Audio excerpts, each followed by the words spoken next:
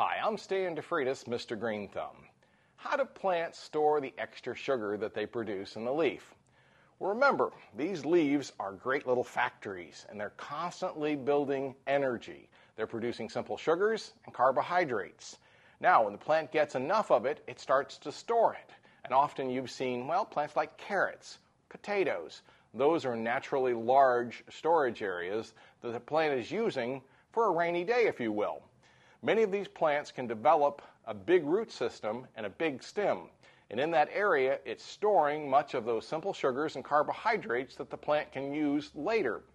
Often, of course, on rainy days, cloudy days, the plant doesn't get very much energy. And the plant has that energy stored, so if it needs it, it's there. Many of the bulbing plants, you'll see big onions, scallions. Plants will store a lot of energy in a big bulb because the plant can use that for the next season. It's true for tulips, narcissus.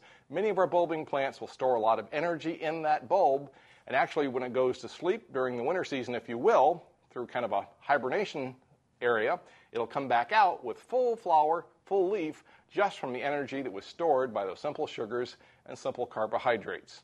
It's important, of course, for the plants, and it's important for you and I as well. For AskMrGreenThumb.com, I'm Stan DeFreitas, Mr. Green Thumb.